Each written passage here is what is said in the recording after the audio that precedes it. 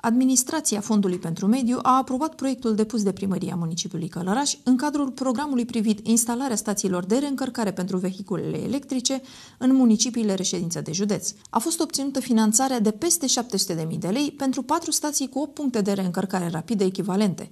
Acestea vor fi amplasate în următoarele locații. În parcarea Spitalului Județean, în parcarea de la sediul Primăriei 2, în zona centrului Sera și pe strada 1848 în zona Isu Călăraș.